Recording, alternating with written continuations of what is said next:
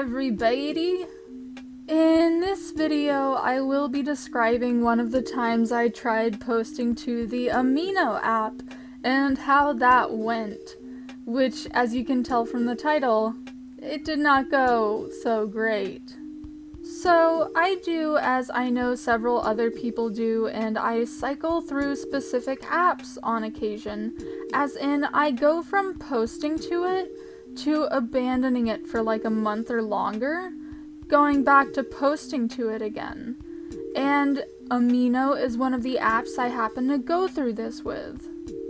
And I think this is one of the times I tried posting to Amino in 2017.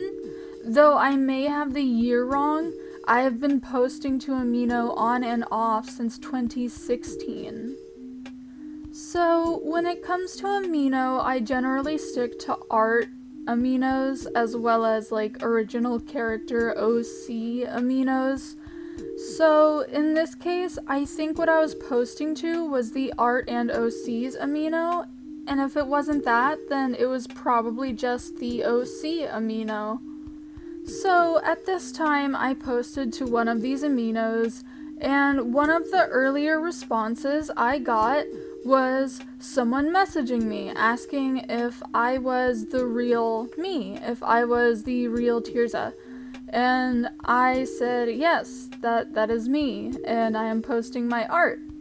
And in response, if I remember correctly, they asked me to draw their character for them in order to prove that I was in fact the artist of the works I had been posting because they knew me as what I went by on other websites, like my name and Dolly Guts and other usernames. But rather than asking me to make a post on one of these websites, they instead opted to tell me to draw their OC for them to prove that I was me. And in response, I said, I'm sorry, I don't do requests. I only do commissions at the moment, and because of that, the only option I would have for you would be to make a post to one of my accounts on another website and say that this is me on Amino if anyone is interested.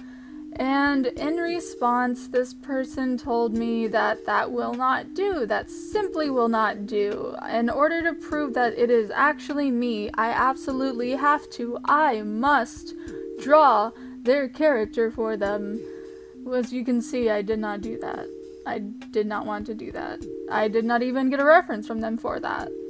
And I actually found this really, really funny because it was the first and only time that that has happened to myself. I have had people ask me if it is really me on Amino and other apps, but in response, they often accept me proving it through other methods. But I've never had someone so pushy as that. Ultimately, it's probably a bad idea to tell an artist to draw for you in order to prove that's them, and I think that's the point of this story, other than to share with people this. I'm sorry it couldn't be longer or more intricate, but it was a pretty simple occurrence. Anyway, if you have requests or recommendations on what I can talk about in my videos, please comment and tell me. Otherwise, thank you for listening and watching, and I will see you guys in another video. Goodbye.